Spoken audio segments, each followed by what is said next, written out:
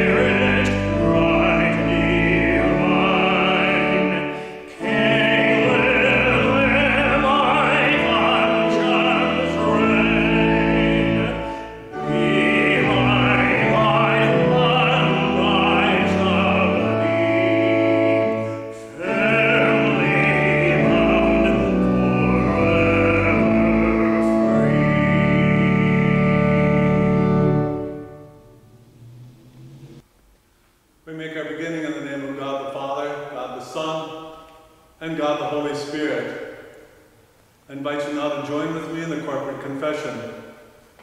If we say we have no sin, we deceive ourselves, and the truth is not in us. But if we confess our sins, God, who is faithful and just, will forgive our sins and cleanse us from all unrighteousness. Eternal God, we confess that we have tried to hide from you, for we have done wrong. We have lived for ourselves, we have refused to bear the troubles of others, and have turned from our neighbors. We've ignored the pain of the world and passed by the hungry, the poor, and the oppressed. O God, in your mercy forgive our sin and free us from selfishness, that we may choose your will and obey your commandments. Through Jesus Christ, your Son, our Lord. Amen.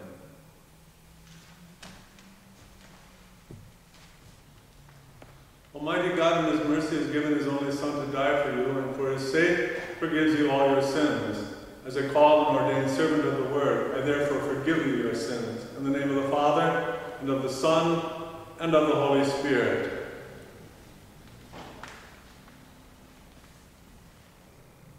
Glory to God in the highest, and peace to his people on earth.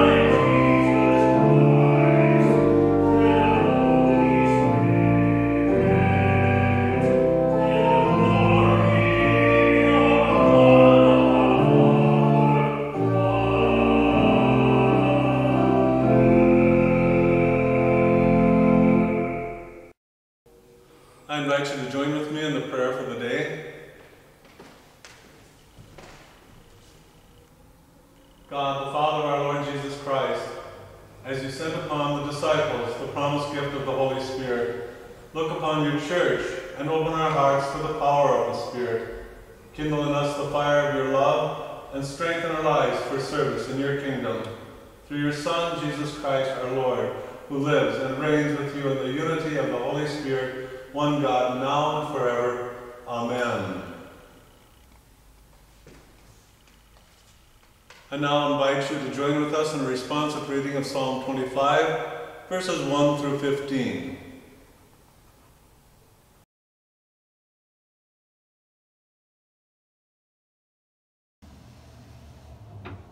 Let us read Psalm 25, verses 1 through 15 responsively. I will read first, then you will follow in reading the verses in bold. Psalm 25, verses 1 through 15. In you, Lord my God, I put my trust.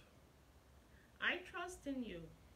Do not let me be put to shame, nor let my enemies triumph over me. No one who hopes in you will ever be put to shame, but shame will come on those who are treacherous without cause. Show me your ways, Lord. Teach me your paths. Guide me in your truth and teach me, for you are God my Savior, and my hope is in you all day long. Remember, Lord, your mercy and love, for they are from of old.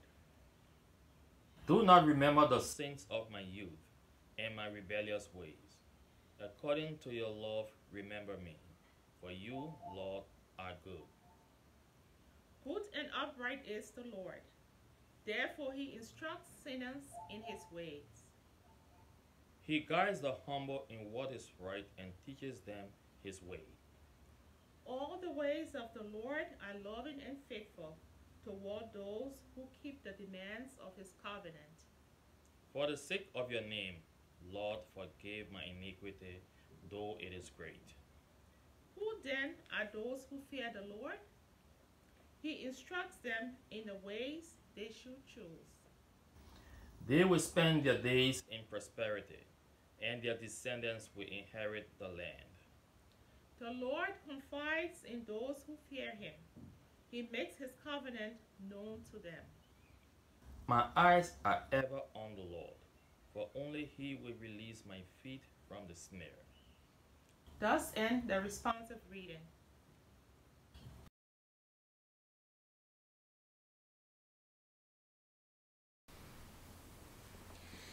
First lesson is taken from the book of Numbers, chapter 11, verses 24 through 30. So Moses went out and told the people what the Lord had said. He brought together 70 of the elders and had them stand around the tent. Then the Lord came down in a cloud and spoke with him. And he took of the Spirit that was on him and put the Spirit on the 70 elders. The Spirit rested on them. They prophesied, but they did not do it so again. However, two men whose names were Eldad and Medad had remained in the camp. They were listed among the elders, but did not go out to the tent. Yet the Spirit also rested on them, and they prophesied in the, in the camp. A young man ran and told Moses, Eldad and Medad are prophesying in the camp.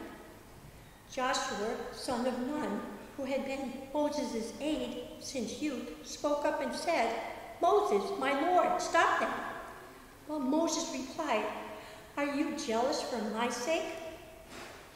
I will, I wish that all the Lord's people were prophets, that the Lord would put his spirit on them. Then Moses and the elders of Israel returned to the camp. Here ends the first lesson.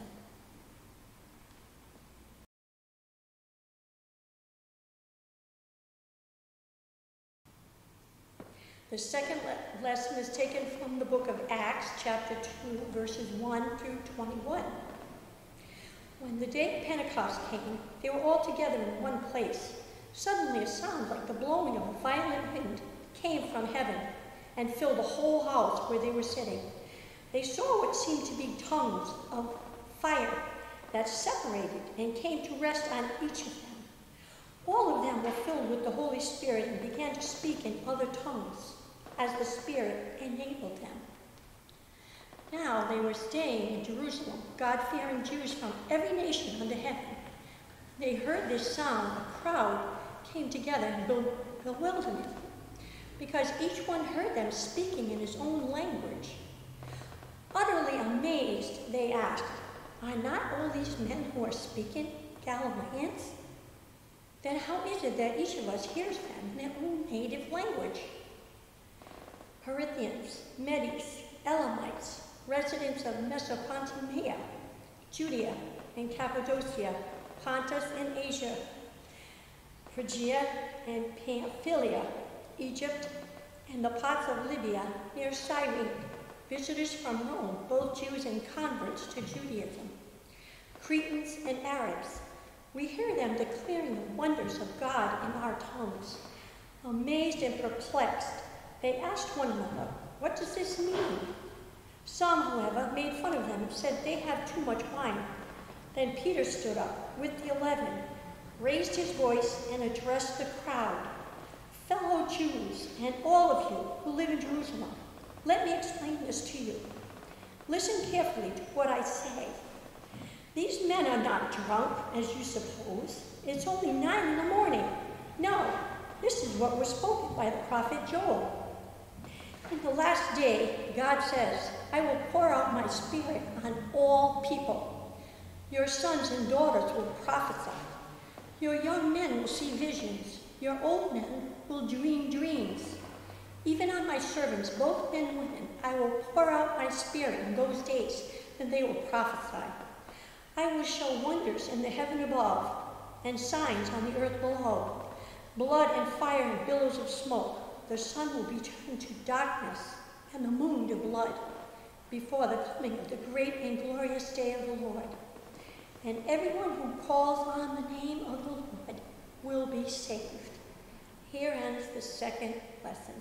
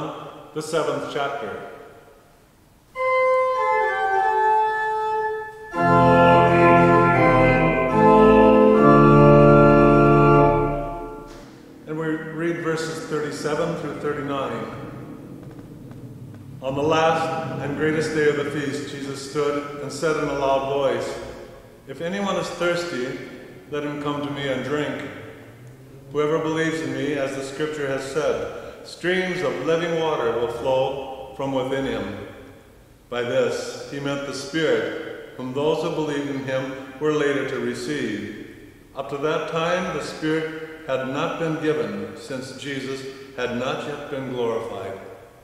This is the gospel of our Lord.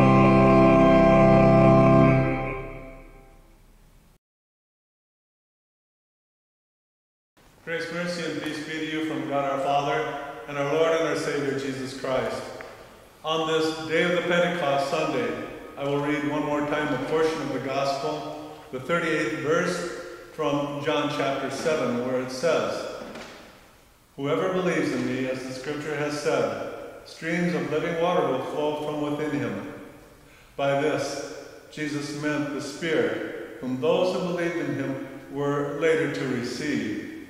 Up to that time, the Spirit had not yet been given, since Jesus had not yet been glorified. The Spirit of God, the Holy Spirit, on this day of Pentecost, as I repeat one more time, we talk about the work and the role of the Holy Spirit. What does the Holy Spirit do? How does the Holy Spirit affect us in our lives? What does the Holy Spirit have to do with our faith? All of these things come to mind as we talk about the coming of the Holy Spirit on Pentecost. And I would like to read one more time a portion from the scriptures, however, to address that. I would like to turn to the 14th chapter of John. You can do the same at home. And I would like you to pay attention to verse 26 of the 14th chapter. For here Jesus clarifies exactly what he said earlier about the giving and the coming of the Holy Spirit. In verse 26, Jesus says, But the counselor, the Holy Spirit, whom the Father will send in my name, will teach you all things and will remind you everything I have said to you. As the Lord Jesus said to the disciples, the Spirit will bring to mind, will bring back to remembrance all of the things that He taught them. And for me and for you, that is important. It is important because when the apostles were writing the Bible, when the apostles were writing down their ideas of what they thought about Jesus and what had occurred in the life of Jesus, they were being moved by the power of the Holy Spirit in such a way that they were guided in their words, guided in everything that they said, guided in their ideas, guided in their phrases, to the degree that we can absolutely say that we have a flawless account of the history of salvation when we are reading the Bible. And to me, that tells me that the Holy Spirit guided the disciples in such a way that we don't have to worry about inaccuracies. And we don't have to worry about things that might have been left out that were important. It is all there. Everything that needs to be said and done is recorded in the Word of God, guided by the Holy Spirit. What is the work and the role of the Holy Spirit? It has a lot to do with the Scriptures, of course, and the preaching of the Scriptures, the teaching of the Scriptures, and all that it has to do whenever we proclaim God's Word. For when we read the Scriptures, we are reading God's Word. As I said earlier, a, a flawless account of the history of salvation all the words of the Bible are inspired by the Holy Spirit. The writers wrote as the Spirit of God moved them. Holy men of God spake as they were moved by the Holy Ghost, it says in the, in the Testament. And we read further that the Holy Spirit did move these men in such a way that it guided them. And it was dependable. And it was trustworthy. And that's important because it tells me that I have everything I need to know about salvation. It tells me that when I read from the Gospel of John and I'm reading the voice of Jesus, I am hearing God speak to me through the voice of Jesus, who was God, of course, as well as true man, Jesus of Nazareth. It's God's voice that we're hearing. It's God's voice that we hear when it's being preached and taught. It's God's voice whenever we surround ourselves with the Word of God and the Scriptures. And yet, we so easily ignore the, the Scriptures. It, it's difficult. It's difficult to find time to pick up this Bible at home and to, uh, let's say, I'm going to read for a portion of the day today. It's almost as if it's a task. And in reality, it is not a task. It should never be considered a task when we have the opportunity to sit down at God's Word, there will be nothing ever more important than hearing about God's grace. There will be nothing, in my mind, more important than to hear God the Father bring His grace in Jesus Christ telling me that I am forgiven for the things that I've done wrong. There is nothing more important to me than to hear the voice of Jesus Christ saying that I will have another chance tomorrow and the next day and whenever, whenever I turn to the cross and realize that all of the sins of the world are left at the foot of the cross. That clears me. That clears me from the things I've done in the past, the things I've failed to do in the past, the things that I do in the present and will do in the future that will offend God. And I will, because I'm a human being.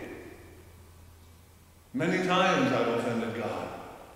And many times I've turned to the Lord God in prayer and asked for forgiveness, and I know that I received that thanks to the power of the Holy Spirit and the reading of God's Word. When you get right down to it, reading God's Word, it's, it's a commandment. It's the third commandment, where we read, Remember the Sabbath day to keep it holy. Martin Luther defined that by saying we should fear and love God that we might not despise preaching in His Word, but hold it sacred and gladly hear and learn it.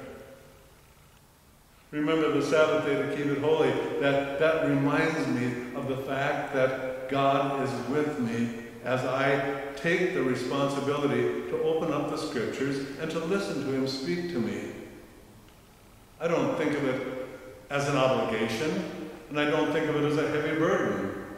I think of it as God's guidance as He provided all of the commandments and all of the laws to protect us, to make life better for us, to make life better for all those with whom we come into contact. Just as it is our responsibility now to adhere to the laws of the land and to try to perhaps cover our face when in public and to, to keep six feet away from other people. These are the things that God declares in the fourth commandment, saying we're supposed to honor father and mother and all of our authorities. That's all we're doing is trying to do what God tells us to do for the sake of our own health and our lives and the sake of others that are around us. Thou shalt remember the Sabbath day to keep it holy. It's not a commandment. It's not a, a burden I have to carry on my shoulders. It, it is a joy. It's an opportunity and it's a privilege to take, let's say, 10 minutes, maybe after breakfast. How about 15 minutes in the afternoon? Whatever, whatever your schedule opens up for, whatever you have the opportunity to do, take the time to read a portion of the scripture. Start with the Gospel of John. It's rich, it's powerful, it's so, so deep in theology it is said that you can drown in the theology of John. And yet at the same time, it is said that a five-year-old can understand clearly what is said in the Gospel of John. For God so loved the world that he gave his only begotten Son, that whosoever believeth in him should not perish, but have everlasting life. How profound that is, and yet how clear it is and how simple it is, even for a child to understand. That's what I'm saying about God's Word. As we read God's Word, it's not a burden, or we are filled with a lot of days that are just plain stressful right now. I don't like what I see when I drive around. I don't like to see lines of people. And I don't want to get in a line and have to stand in line with people. It drives me up a wall. And therefore, it's really a wonderful opportunity to go back home and, for instance, pick up the Bible and read the 23rd Psalm. And in the midst of all of this confusion, you're going to hear that God and Jesus Christ is your shepherd. And he will lead you to a, a quiet place, to green pastures and still waters. And there, your mind starts to settle down from everything that's got you upset during the day because you're thinking about how Jesus Christ will guide you and take care of you that's a blessing, folks. That's not a burden. That is a privilege and an honor that God gives to us. Remember the Sabbath day to keep it holy. We should fear and love God that we might not despise preaching in His Word, but hold it sacred and gladly hear and learn it. When we gladly hear the Word of God, and when we gladly learn what God is teaching us, we are keeping the third commandment perfectly. And God will bless us for that. It's difficult. It's always difficult. But I remind you again, as you, as you sit at the feet of the apostles and the prophets, and you follow the history of salvation, and you see the promised Messiah come into the world, as you read about the birth of Jesus to the Virgin Mary, and you read how, how he, he continued in his life helping people and reaching out in every possible way, and then even stretching his arms out on a cross on, on Good Friday at 9 o'clock in the morning until 3 o'clock in the afternoon, we see our Savior, his arms stretched out, nails in the hands, a crown of thorns on his head. And we see that in the scriptures as it is fulfilled, as God promised the Messiah would live and die for us and fulfill what God the Father expected of us because we cannot. It's, St. Paul written all over. The good that I want to do, I do not do. But the one thing that I do not want to do, the evil, is the first thing that I choose to do. And that's why Jesus came into the world. To help us.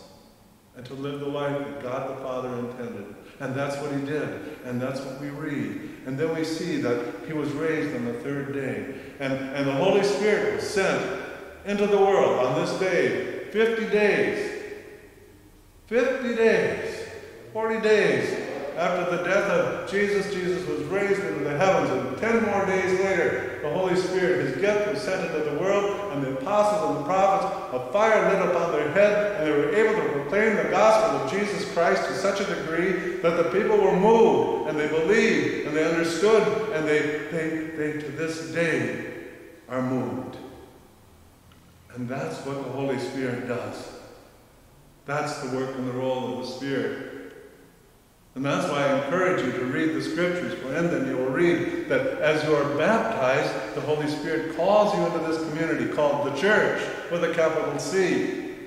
And as we're in that church, we receive the forgiveness of sins. And then it goes on to say in the scriptures that if you participate in the sacrament of the altar, which I hope we do soon again together as a community, when you participate in the sacrament of the altar, the Holy Spirit comes into your heart and causes your faith to grow and be strengthened so that you grow and you glow in the light of Jesus Christ as you shine in this world and your works show the work of God the Father. That's the work and the role of the Holy Spirit. But then one more thing in the scriptures it says that after through the means of grace, through baptism and the sacrament of the altar, then through the power of God's word, the God Holy Spirit comes to us and strengthens us preserves us and keeps us as He has called us into that church. He now holds us tightly and keeps us in the one true faith of God the Father, God the Son, and God the Holy Spirit, in which we know that Jesus Christ, Jesus Christ died and was raised for me and for you as our personal Savior. That's the work and the role of the Holy Spirit to keep us in that faith. Now, in this world, and forever into the heavenly world that Jesus Christ will bring us into on the last and final day, his heaven, as it is called. May God bless you in your faith. May you find time to read the scriptures May you be positive each and every day as God the Holy Spirit works within you to cause you to love the Lord Jesus. In Jesus' name, Amen. Now may the peace of God that passeth all understanding keep your hearts and minds in Christ Jesus unto life everlasting. Depart in God's peace. Amen.